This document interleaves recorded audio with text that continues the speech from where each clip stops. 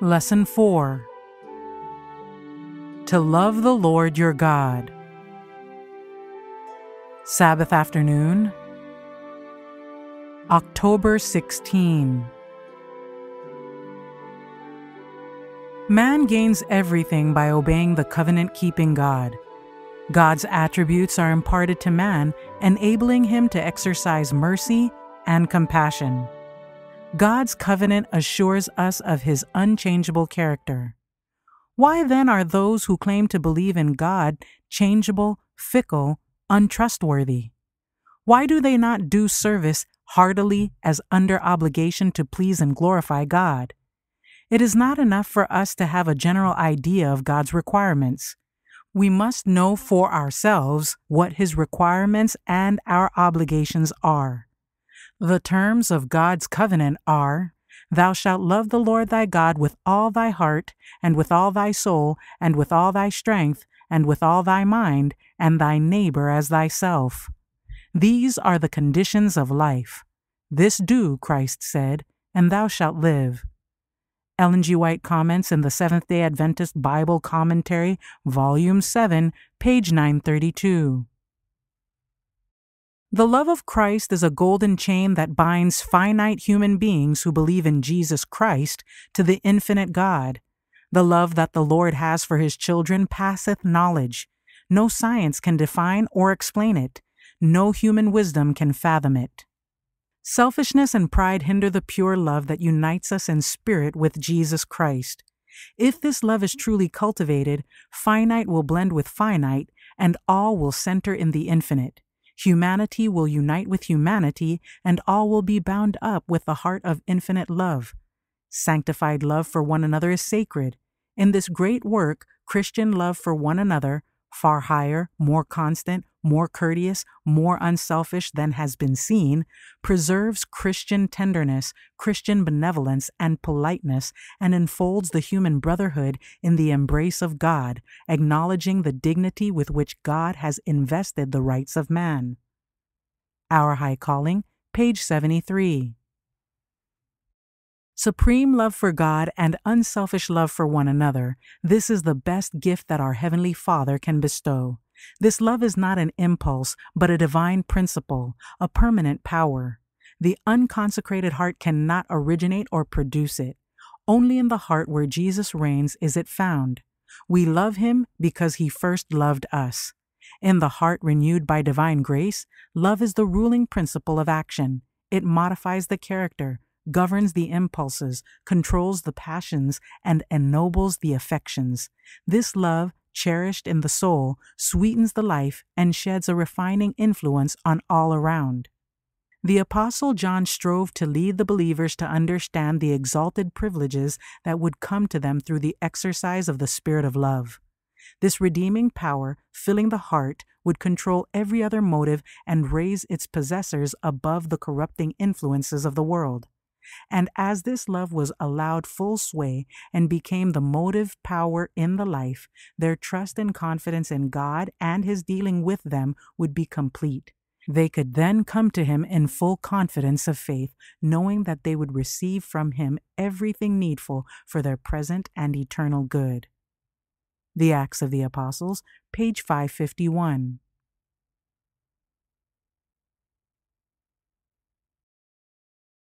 Sunday, October 17. To love God. All should learn that they are individually amenable to God. When they love God with all their hearts, they will be wise unto salvation. They will do His will, and their light will ever be their glory and be undiminished because they recognize and fear and serve their Lord. The solemn work rests upon every soul to consider that he is a servant of Jesus Christ. The one all important matter is to serve the Lord with full purpose of heart and seek to become the Lord's heart and mind.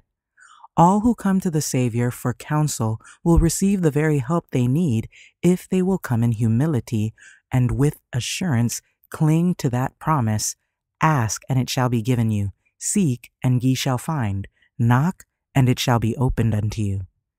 Matthew chapter 7 verse 7.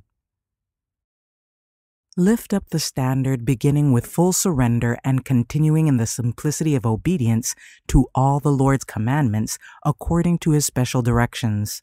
None of the important things specified in his word are to be neglected. This Day with God, page 128. God claims the whole of the affections of man, the whole heart, the whole soul, the whole mind, the whole strength.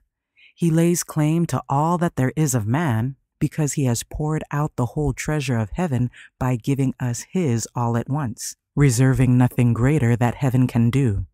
When I commence writing on this subject, I go on and on and try to get beyond the outer edge, but I fail. When we shall reach the mansions above, Jesus will himself lead the white robed ones, made white in the blood of the Lamb, to the Father. Therefore are they before the throne of God, and serve him day and night in his temple and he that sitteth on the throne shall dwell among them. Revelation chapter 7 verse 15. Our High Calling, page 12. The atmosphere of the church is so frigid, its spirit is of such an order that men and women cannot sustain or endure the example of primitive and heaven-born piety.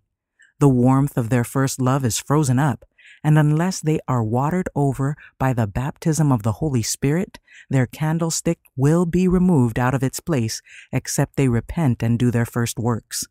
The first works of the church were seen when the believers sought out friends, relatives, and acquaintances, and with hearts overflowing with love, told the story of what Jesus was to them and what they were to Jesus.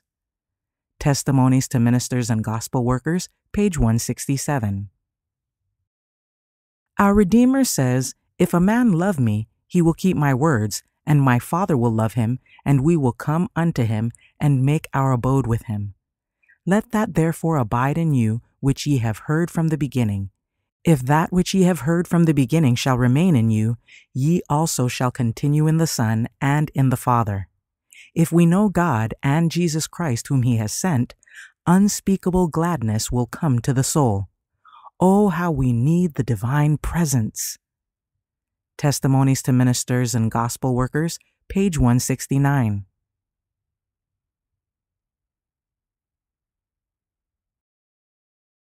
Monday, October 18. To fear God. Humility and reverence should characterize the deportment of all who come into the presence of God. In the name of Jesus, we may come before him with confidence, but we must not approach him with the boldness of presumption as though he were on a level with ourselves. There are those who address the great and all-powerful and holy God who dwelleth in light unapproachable as they would address an equal or even an inferior. There are those who conduct themselves in his house as they would not presume to do in the audience chamber of an earthly ruler. These should remember that they are in his sight whom seraphim adore, before whom angels veil their faces. God is greatly to be reverenced. All who truly realize his presence will bow in humility before him, and like Jacob, beholding the vision of God, they will cry out, This is none other but the house of God, and this is the gate of heaven. Patriarchs and Prophets, page 252. The heart that has once tasted the love of Christ cries out continually for a deeper draught, and as you impart, you will receive in richer and more abundant measure. Every revelation of God to the soul increases the capacity to know and to love. The continual cry of the heart is, More of thee, and ever the Spirit's answer is, Much more. Romans chapter 5, verses 9 and 10. For our God delights to do exceeding abundantly above all that we ask or think. Ephesians chapter 3 verse 20. God has poured out his love unstintedly as the showers that refresh the earth. He says, Let the skies pour down righteousness, let the earth open, and let them bring forth salvation, and let righteousness spring up together. Isaiah chapter 45, verse 8. Thoughts from the Mount of Blessing, pages 20 and 21. The first angel of Revelation 14 calls upon men to fear God and give glory to Him and to worship Him as the creator of the heavens and the earth. In order to do this, they must obey His law. Without obedience to His commandments, no worship can be pleasing to God, for this is the love of God, that we keep His commandments. 1 John chapter 5, verse 3. Many religious teachers say that Christ, by his death, freed us from the law. But not all take this view. The law of God, from its very nature, is unchangeable. It is a revelation of the will and character of its author. God is love, and his law is love. Its two great principles are love to God and man. Love is the fulfilling of the law. The character of God is righteousness and truth, and such is the nature of his law. The psalmist says, Thy law is the truth. All thy commandments are righteousness. And the apostle Paul declares, The law is holy, and the commandments holy, and just, and good. Such a law, an expression of the mind and will of God, must be as enduring as its author.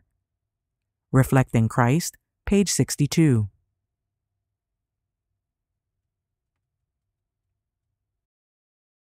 Tuesday, October 19. He first loved us. God desired to make of his people Israel a praise and a glory. Every spiritual advantage was given them. God withheld from them nothing favorable to the formation of character that would make them representatives of himself. Their obedience to the law of God would make them marvels of prosperity before the nations of the world. He who could give them wisdom and skill in all cunning work would continue to be their teacher and would ennoble and elevate them through obedience to his laws. If obedient, they would be preserved from the diseases that afflicted other nations and would be blessed with vigor of intellect. The glory of God, his majesty and power were to be revealed in all their prosperity. They were to be a kingdom of priests and princes God furnished them with every facility for becoming the greatest nation on the earth. In the most definite manner, Christ through Moses had set before them God's purpose and had made plain the terms of their prosperity. Thou art an holy people unto the Lord thy God, he said. The Lord thy God hath chosen thee to be a special people unto himself, above all people that are upon the face of the earth. Know therefore that the Lord thy God, he is God, the faithful God, which keepeth covenant and mercy with them that love him and keep his commandments to a thousand generations. Deuteronomy chapter 7, verses 6 and 7. Christ's Object Lessons, page 288. God does not ask if we are worthy of his love, but he pours upon us the riches of his love to make us worthy. He is not vindictive. He seeks not to punish, but to redeem. Even the severity which he manifests through his providences is manifested for the salvation of the wayward. He yearns with intense desire to relieve the woes of men and to apply his balsam to their wounds. It is true that God will by no means clear the guilty, Exodus chapter 34 verse 7, but he would take away the guilt. The merciful are partakers of the divine nature, and in them the compassionate love of God finds expression. All whose hearts are in sympathy with the heart of infinite love will seek to reclaim and not to condemn. Christ dwelling in the soul is a spring that never runs dry. Where he abides, there will be an overflowing of beneficence. Thoughts from the Mount of Blessing, page 22. The loveliness of the character of Christ will be seen in his followers. It was his delight to do the will of God. Love to God Zeal for his glory was the controlling power in our Savior's life. Love beautified and ennobled all his actions. Love is of God. The unconsecrated heart cannot originate or produce it. It is found only in the heart where Jesus reigns. We love because he first loved us. 1 John chapter 4 verse 19, revised version. In the heart renewed by divine grace, Love is the principle of action. It modifies the character, governs the impulses, controls the passions, subdues enmity, and ennobles the affections. This love, cherished in the soul, sweetens the life, and sheds a refining influence on all around. Steps to Christ, page 59.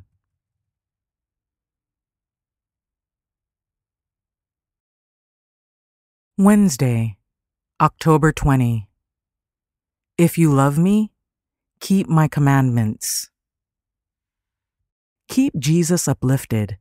We are laborers together with God. We are provided with spiritual weapons mighty to the pulling down of the strongholds of the enemy. We must in no case misrepresent our faith by weaving unchristlike attributes into the work. We must exalt the law of God as binding us up with Jesus Christ and all who love him and keep his commandments. We are also to reveal a love for the souls for whom Christ has died. Our faith is to be demonstrated as a power of which Christ is the author. And the Bible, His Word, is to make us wise unto salvation. This Day with God, page 99.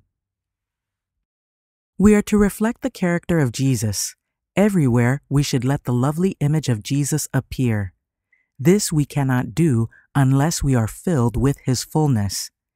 If we would become better acquainted with Jesus, we should love him for his goodness and excellence, and we should desire to become so assimilated to his divine character that all would know that we had been with Jesus and learned of him. Sinners will be constrained to confess that we are not the children of darkness, but the children of light. How shall they know this? By the fruits we bear. There must be a deep work of grace, the love of God in the heart, and this love is expressed by obedience. Our hearts may be filled with all the fullness of God, but there is something for us to do. We must not pet our faults and sins, but put them away and make haste to set our hearts in order.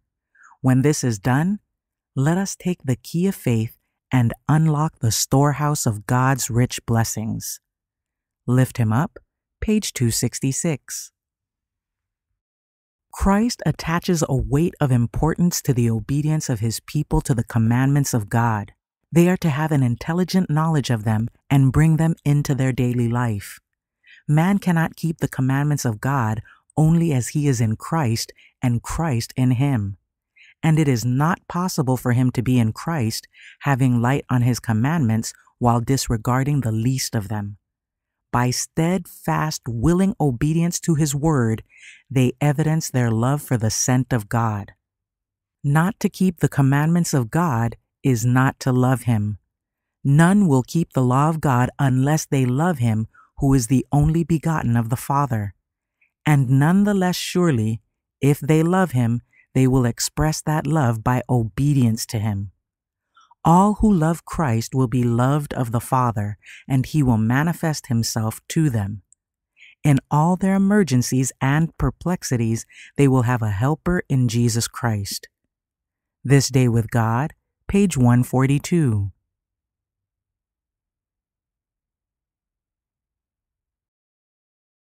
Thursday, October 21. The First Commandment.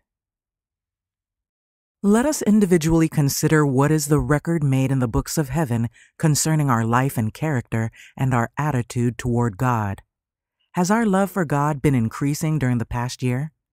If Christ is indeed abiding in our hearts, we shall love God, we shall love to obey all his commandments, and this love will continually deepen and strengthen. If we represent Christ to the world, we shall be pure in heart, in life, in character. We shall be holy in conversation. There will be no guile in our hearts or upon our lips. Let us examine our past life and see if we have given evidence of our love for Jesus by seeking to be like him and by working as he worked to save those for whom he died. Lift him up, page 325. Christ's death and resurrection completed his covenant. Before this time, it was revealed through types and shadows which pointed to the great offering to be made by the world's Redeemer, offered in promise for the sins of the world. Anciently, believers were saved by the same Savior as now, but it was a God veiled. They saw God's mercy in figures. The promise given to Adam and Eve in Eden was the gospel to a fallen race. The promise was made that the seed of the woman should bruise the serpent's head and it should bruise his heel. Christ's sacrifice is the glorious fulfillment of the whole Jewish economy. The Sun of Righteousness has risen. Christ, our righteousness, is shining in brightness upon us. Ellen G. White comments in the Seventh day Adventist Bible Commentary, Volume 7, page 932.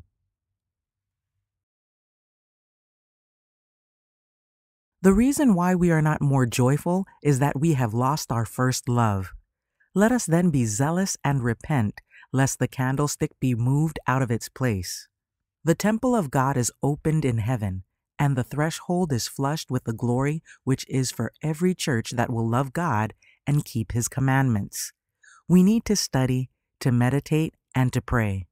Then we shall have spiritual eyesight to discern the inner courts of the celestial temple we shall catch the themes of song and thanksgiving of the heavenly choir round about the throne. When Zion shall arise and shine, her light will be most penetrating, and precious songs of praise and thanksgiving will be heard in the assemblies of the saints. God teaches that we should assemble in His house to cultivate the attributes of perfect love.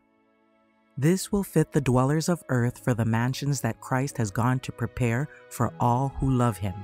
There they will assemble in the sanctuary from Sabbath to Sabbath, from one new moon to another, to unite in loftiest strains of song, in praise and thanksgiving to Him who sits upon the throne, and to the Lamb forever and ever. Testimonies for the Church, Volume 6, page 368.